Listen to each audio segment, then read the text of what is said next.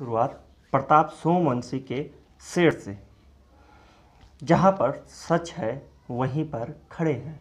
जहाँ पर सच है, वहीं पर खड़े हैं और इसीलिए आँखों में गड़े हैं। हमारे यहाँ एक सेठ जी थे। वर्तमान सरकार की तरह दूरदर्शी।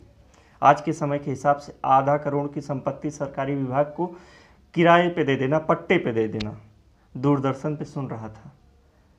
मंत्री जी कह रहे थे, पचास साल के लिए दिया जा रहा है। पचास साल बाद वापस आ जाएगा। शायद एयर इंडिया की बात कर रहे थे। वैसे देहातों में एक कहावत है, लेता मरे कि देता। बहरहाल, इधर बात चल रही है नीट तथा अन्य परीक्षाओं के बारे में। छात्राओं का एक बड़ा तबका कोरोना काल में परीक्षा कराने को उचित नहीं मान रहा है। फ़िलहाल, सरकारें डटी हुई हैं। चलिए, परीक्षा केंद्र भी बन गए परीक्षा भी हो जाएँगी। कोरोना काल में बहुत कुछ बर्बाद हुआ। लेकिन आगे दुआ कीजिएगा फ़िलहाल चलते चलते एक सवाल करोड़ों रुपए का छोड़ जाता हूँ। सुशांत सिंह लटके या लटकाए गए। जैसे टीवी वाले तलाश रहे हैं।